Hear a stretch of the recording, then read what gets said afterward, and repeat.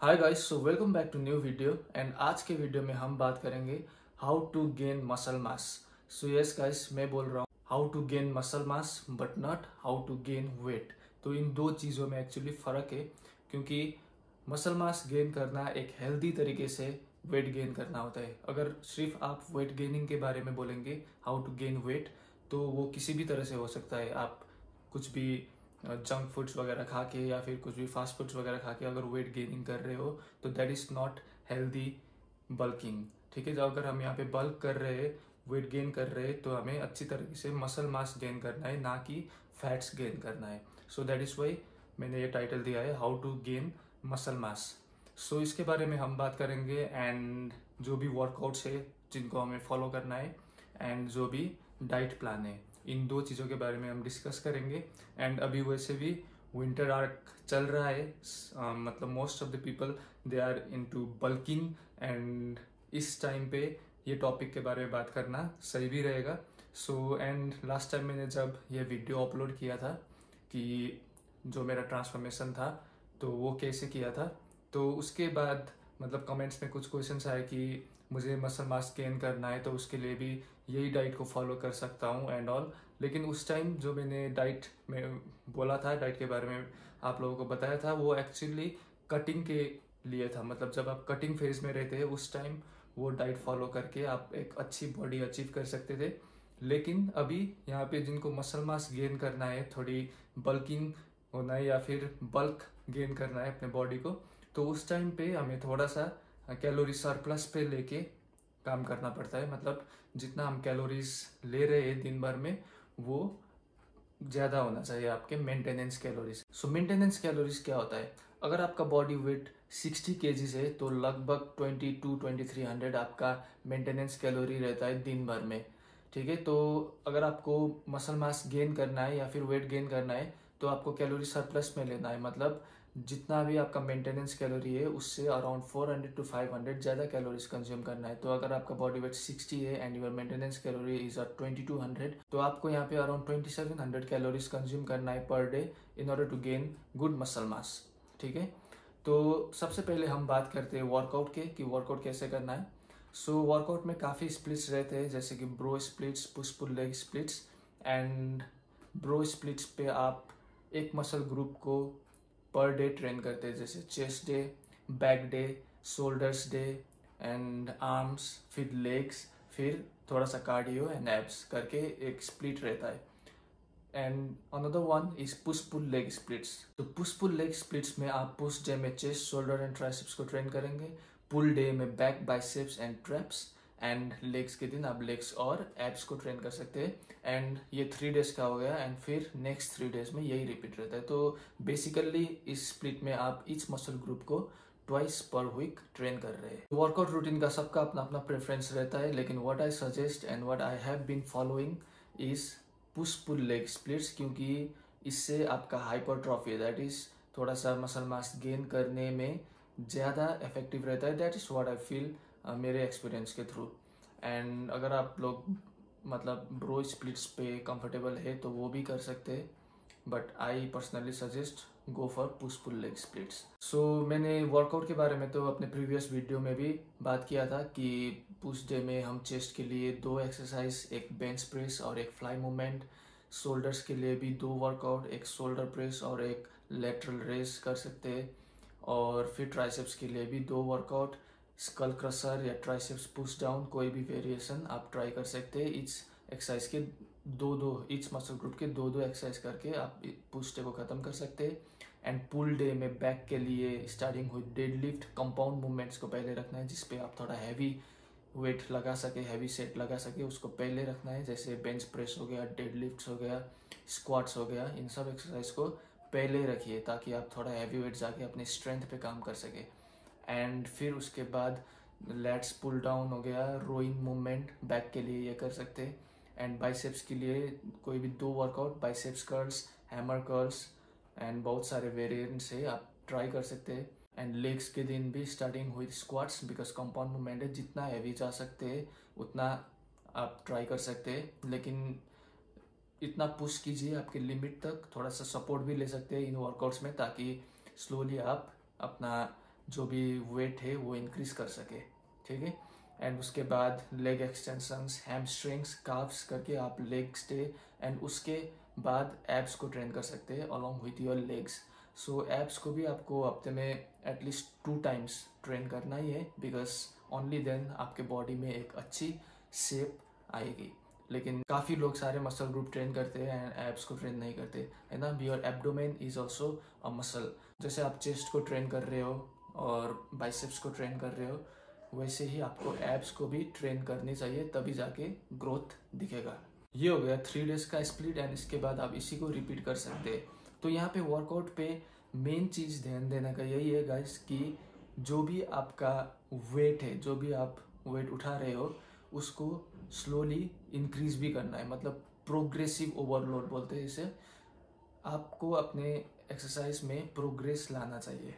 ठीक है आप कंसिस्टेंटली ट्रेन कर रहे हो और सेम वेट पे one week two week three week if you are doing same weight same workout then it's not going to give you the best results ठीक है थोड़ा बहुत रिजल्ट्स दिखेगा लेकिन द बेस्ट रिजल्ट्स वो आने में ज़्यादा टाइम लग जाएगा। सो so, इसको ध्यान रखते हुए जितना आप ट्रेन कर रहे हो जैसे अगर आपका फॉर एग्ज़ाम्पल ले लेते हैं कि फ़र्स्ट वीक में आपका हंड्रेड के का डेड लिफ्ट जा रहा है। ठीक है तो नेक्स्ट वीक पे आप थोड़ा सा इंक्रीज कीजिए हंड्रेड टेन ट्राई कीजिए। अगर हो रहा है तो इट्स ओके इफ़ नहीं हो रहा है तो थोड़ा सा हंड्रेड फाइव करके ऐसे धीरे धीरे इंक्रीज कीजिए। फिर वन मंथ टू मंथ के बाद वन ट्वेंटी तक ट्राई कीजिए। ऐसे करके प्रोग्रेसिव ओवरलोड अगर आप अपने ट्रेनिंग में देंगे तभी आपका मसल साइज़ में ग्रोथ आएगा। सो so, वर्कआउट में यही पैटर्न फॉलो करना है and most important thing is to remain consistent so अब बात करते हैं हम अपने डाइट के बारे में which is very important so diet में अगर आप मसल मास गेन करना है वेट गेन करना है तो दिन में कम से कम फाइव टू सिक्स मील्स रहना चाहिए. एंड जितना आप बॉडी के अंदर डाल रहे हो और ट्रेनिंग कर रहे हो, उसी तरह से आपका रिज़ल्ट आएगा. और most important thing that matters is आप क्या खा रहे हो what you are putting inside your body उसी तरह से आपका वो रिज़ल्ट आएगा. So starting with the first meal of the day जो होता है early in the morning and that is around six A M that will be two brown bread with peanut butter one banana and a cup of black coffee so ये आपका पहला meal रहेगा around six A M in the morning this will also be a pre workout meal अगर आप morning में workout कर रहे हो तो ये आपका प्री वर्कआउट मील भी हो जाएगा। तो ये मील में आपको कार्बोहाइड्रेट्स अच्छे से मिल रहे हैं which is going to help you throughout your workout workout के बाद होगा आपका पोस्ट वर्कआउट मील इसमें आप ओट्स मील जिसमें आप थोड़ा सा fruits dry fruits and one scoop of whey protein add करके विथ मिल्क या फिर मिल्क अवेलेबल नहीं है तो you can also have it with water तो ये एक oats meal and also your post workout meal रहता है। So it is going to be at around eight to nine M के बीच में ये मील रहेगा। ये आपका एक ब्रेकफास्ट भी होगा पोस्ट वर्कआउट मील भी होगा एंड एक healthy meal with good protein content रहेगा। आफ्टर दिस आप अराउंड 11 टू 12 के बीच में अराउंड 11:30 आपका third meal of the day रख सकते हैं, जिसमें आप five eggs and five eggs के साथ काव्स में कुछ भी राइस केक या फिर ब्राउन ब्रेड या फिर बनाना जो भी आपको ठीक लगे आपको बस ये ध्यान में रखना है कि good amount of protein and good amount of carbohydrates साथ में कंज्यूम करना है। क्योंकि अगर आप प्रोटीन ही लोगे बस एग्स ही ले रहे हो तो प्रोटीन को डाइजेस्ट करने के लिए भी यू नीड सम कार्बोहाइड्रेट्स ठीक है? तो दोनों का कॉम्बिनेशन लेंगे तो बॉडी अच्छे से डाइजेस्ट करेगी और सब कुछ सही रहता है। सो so, या एंड ये होगा आपका third meal of the day so eggs में अगर आप फाइव ले रहे हो तो two whole eggs and three egg whites so after this will be your fourth meal of the day जिसमें आप राइस ले सकते हैं, रोटी ले सकते हैं along with some chicken protein के लिए एंड सम वेजिस ठीक है? सो अगर आप वेजिटेरियन हो तो पनीर ले सकते हैं, राजमा ले सकते हैं सोया चंक्स ले सकते हैं which is also a good source of protein so ये मील थोड़ा सा हैवी रहता है आपका फुल डे का this meal will be around one to two PM के बीच में.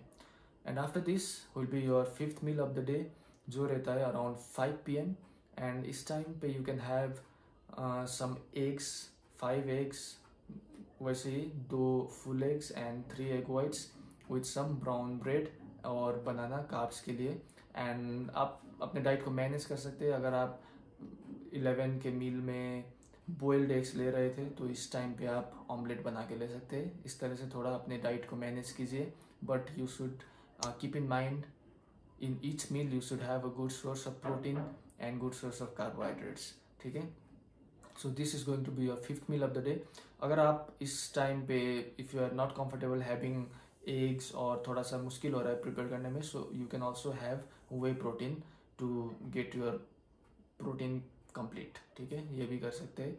सो so, डाइट को एक्चुअली थोड़ी बहुत अपने हिसाब से मैनेज भी करना पड़ता है क्योंकि इतना स्ट्रिक्ट रहोगे तब भी थोड़ा डिफिकल्टीज आ सकती है सब कुछ मैनेज करने में। इतना स्ट्रेस भी नहीं लेना है ठीक है?